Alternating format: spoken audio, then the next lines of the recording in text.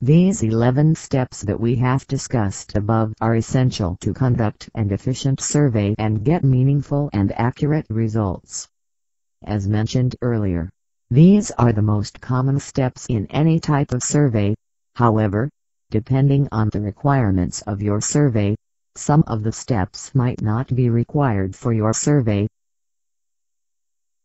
This course was brought to you by PIE Tutors a statistical consultancy and data analysis company for scholars and researchers. If you have any comments or questions for us, please share your feedback in the comments section below.